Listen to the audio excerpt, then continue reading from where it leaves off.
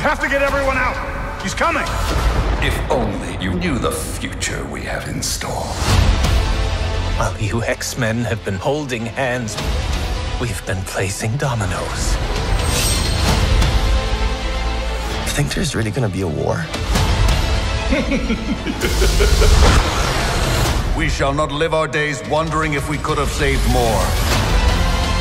We face this as we always have.